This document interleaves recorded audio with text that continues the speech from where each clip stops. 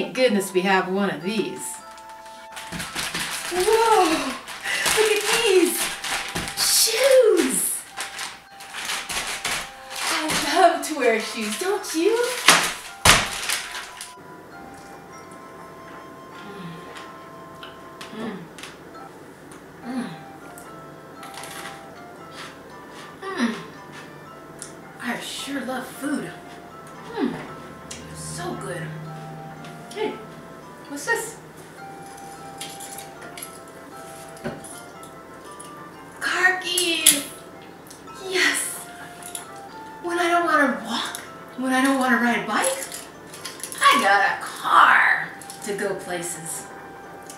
This is great.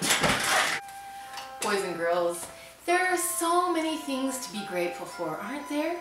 Aren't you glad that we have electricity and cars and food and lights and a toilet? Aren't you glad that we have so many luxuries in life? Think about if you lived a hundred years ago, what you wouldn't have. You sure wouldn't have a TV or your electronics. No siree. Aren't you grateful to be alive? I am so grateful for the scriptures and for singing time with you. I'm grateful that we can sing together and especially right now, we are going to sing about songs of, of Christ and songs that talk about Christ that are in the primary songbook. So let's get started and let's get singing. Welcome to Primary Singing Time, boys and girls. As you can see, there are so many things to be grateful for, especially during this time of year. We've just had Thanksgiving and Christmas is coming up. There are so, so many things for us to be grateful for. But during Christmas time, there's one thing that we are especially grateful for, and that's the birth of our Savior Jesus Christ. Today, I would like to spend some time with you singing songs about Jesus. Let's start off with our first song, The Miracle. This one talks about the life of Jesus Christ that he lived and all the miracles that he did. And I find no better way to start this singing time off than to sing the miracle with you, talking about all the things that Jesus did to show us his example and to show us his love for us. Let's sing together.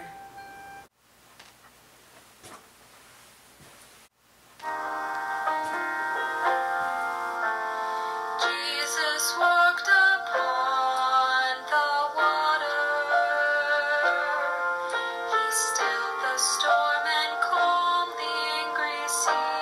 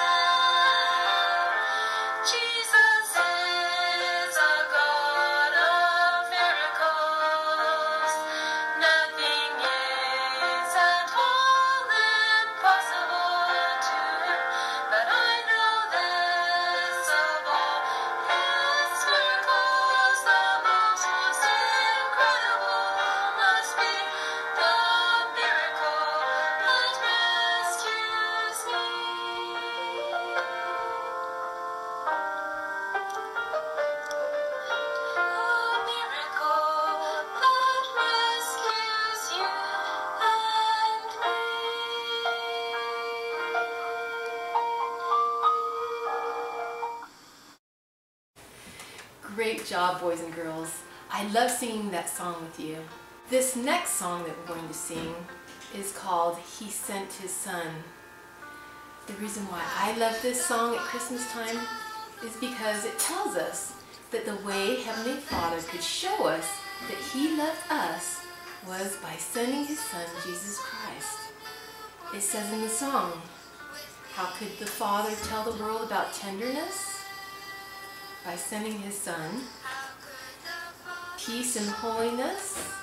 By sending His Son, Jesus. How could He show us the pathway to go to return to Him? By sending Jesus. Good job, boys and girls. And um, He sent His Son to walk with men so that we could know how to follow Him. How could the Father tell the world of sacrifice and death? By sending His Son. This song talks about why Heavenly Father sent His Son. Let's sing it together.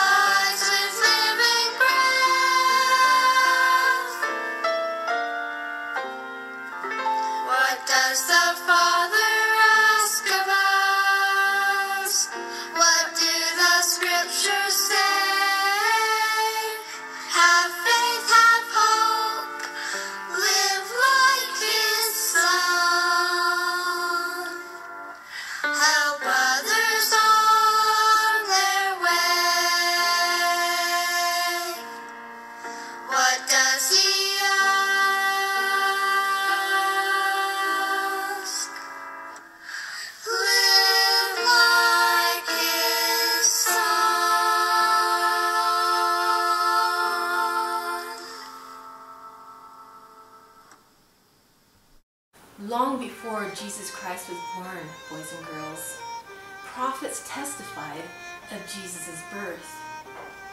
One such prophet was Samuel the Lamanite. Let's see the story, how it's told in the scriptures.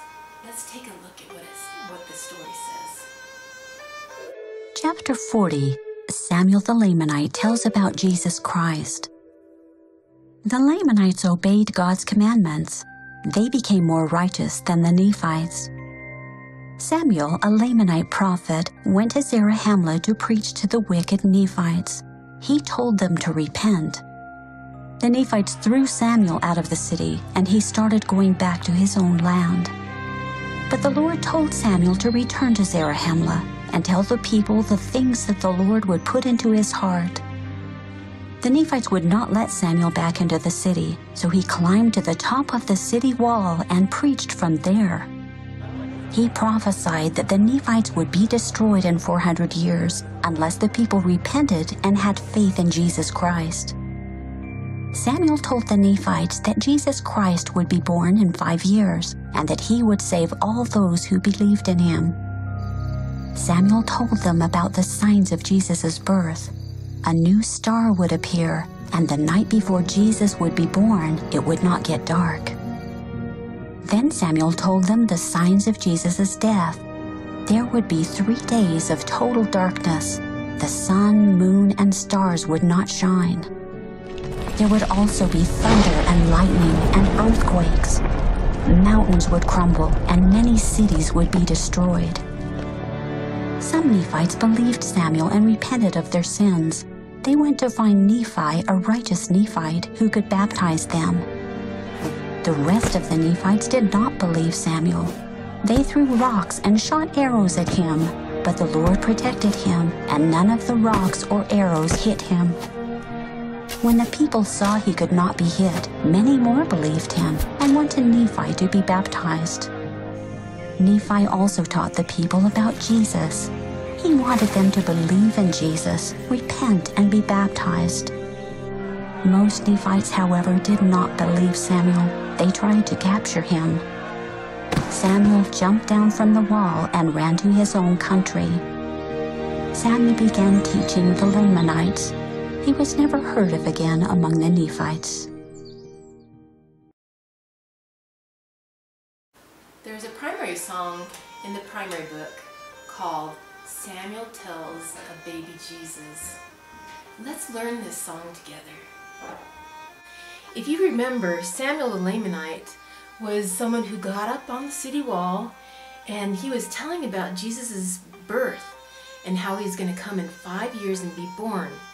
And the people didn't like what he was saying and they wanted to kill him. And they shot arrows at him and threw stones at him, but they were not able to hurt him because Heavenly Father was on his side and wanted him to say this message to the people.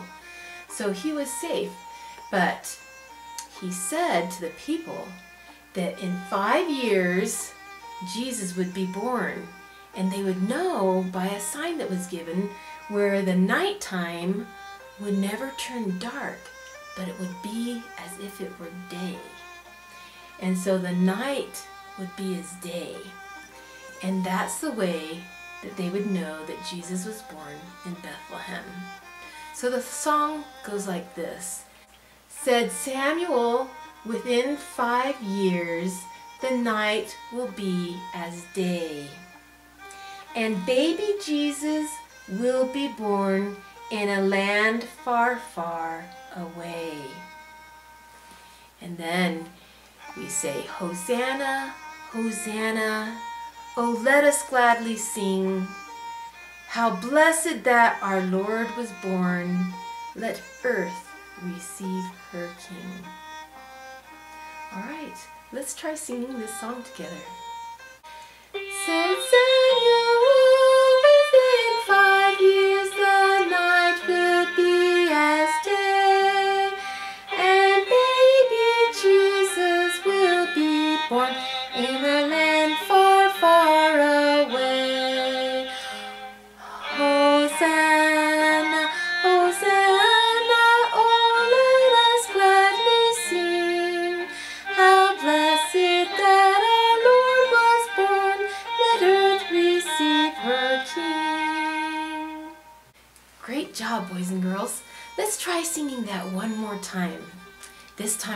Hear your voices a little bit better.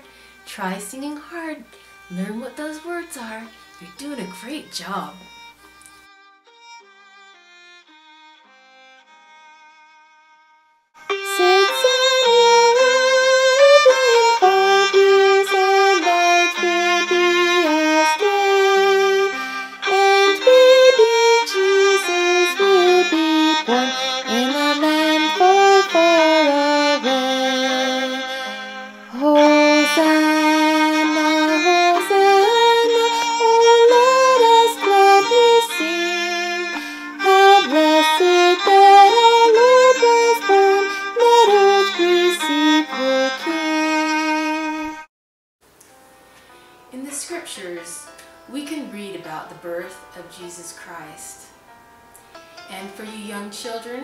Who can't quite read the scriptures yet, there's a picture book that you can look at.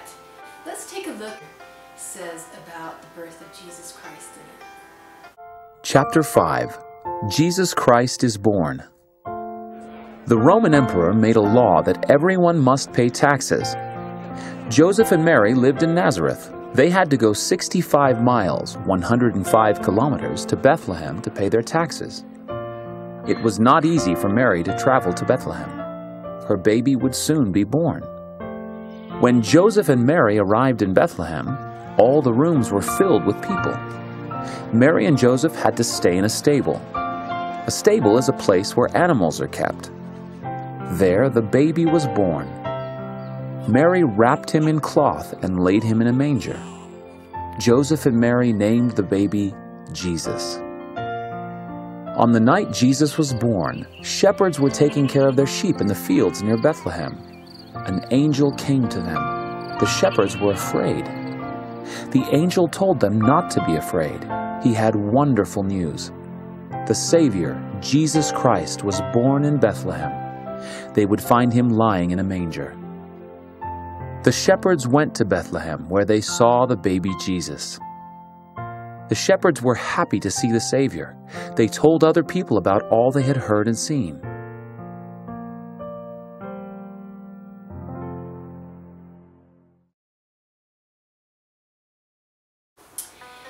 As you read the story of Jesus and his birth in the scriptures, try to picture in your mind what it would have been like to be there. What would it have been like to be a shepherd in the fields, watching over your flocks, and then to have angels come down? What would it have been like to be a wise man who saw the star that told them that Jesus Christ had been born? What would it be like if you had been there by Jesus' side, looking at him down in the manger where he lay? There's a song that's called Picture a Christmas. And I'd like to teach this song to you today. Let's learn it together today.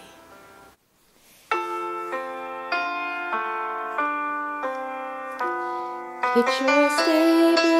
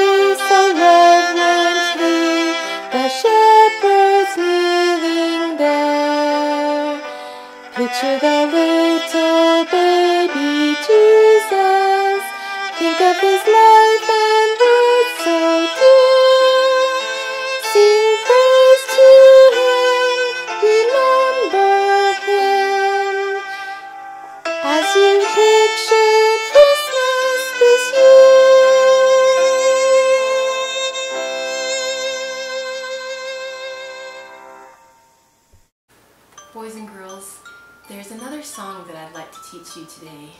Maybe you know it, maybe you don't. If you know it, that's great because you'll be able to sing out and sing along really well. Those of you who don't know it, it's really simple and it's really short. It goes like this. Mary, Mary, hush, see the child. Joseph, Joseph, look, see how mild. This is Jesus. This is our King. This is our Savior.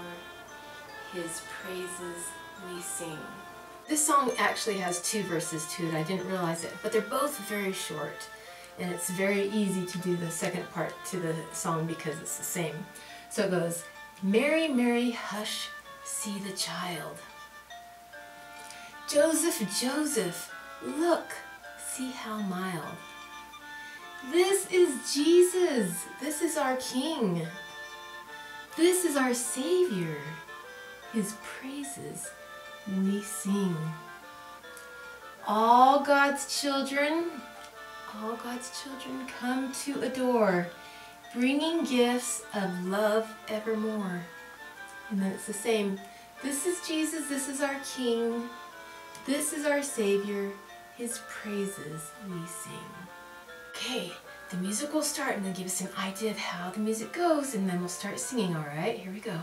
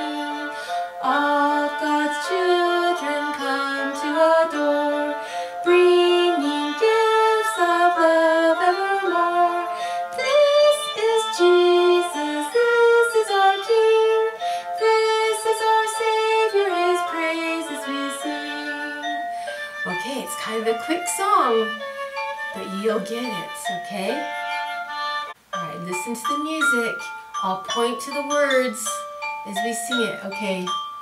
At the poster, rather.